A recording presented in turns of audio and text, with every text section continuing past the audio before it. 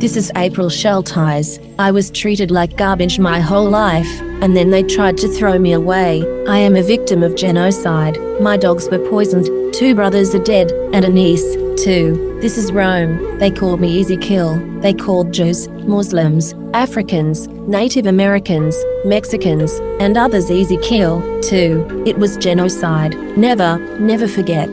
The scriptures say, Oh, that my grief were truly weighed, and my calamity laid in the balances together.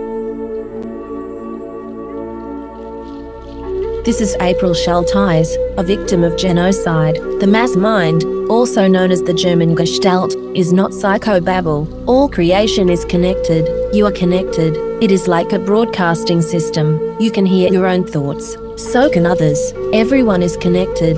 Predators know this, and they access the mass mind against you. They use psychic attack and hypnosis for gain, control, and genocide. The forgotten genocide of Native Americans on this continent was not forgotten by God, and God's justice is due to the Native Americans who were stolen from and murdered here.